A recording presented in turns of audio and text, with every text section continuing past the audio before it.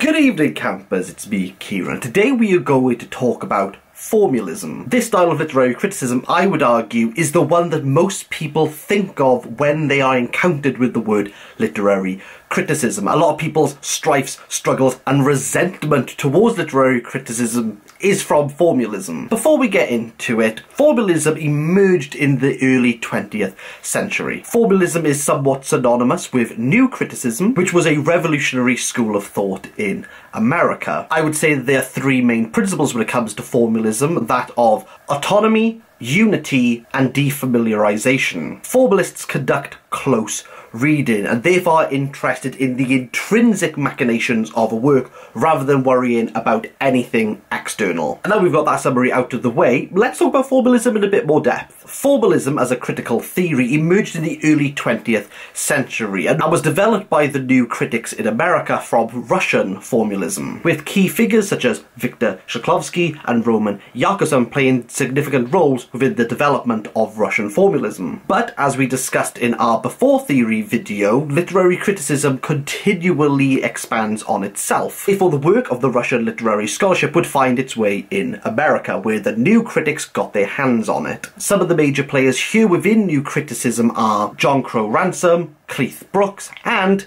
T.S. Eliot, who all adapted and expanded on the Russian formalist ideas. The formalists, the Russians and the Americans alike, wish to find a more objective way to study a book, and therefore focused on the intrinsic qualities of a text rather than any external influences. Close reading plays a huge part in this as we start looking at the form of the text, the structure of the text, the lyrical and poetic qualities of a work. These qualities supersede any of the political, economic, or social contexts that a book was written in. Formalists believe that the meaning of the text can be derived from the text itself solely garnered from the literary elements and the artistic expression that is used within the work. Some of you might be joining the dots here and thinking, well, is this where death of the author comes into because we consider the text and not the author? and you would be correct. But let's not think about close reading or death of the author, we'll cover those in different videos. Instead, let's explore three key principles that I feel summarise formalism succinctly. Autonomy of the text. Formalists argue that the text should be studied as a self-contained entity, that all meaning can be derived from the text itself. The text should be independent from authorial intent and external influences. The second principle is the idea of organic unity. Formalists assert that every aspect of a work should move towards the grander idea of a work. They argue that in analysing specific parts or certain aspects of a work such as the plot, the character, setting, style, that all of it should function together to give a harmonious idea of the work as a whole. All of this to create a unified artistic expression. The third principle revolves around defamiliarization. Formalists argued the readers should read works that challenge their preconceived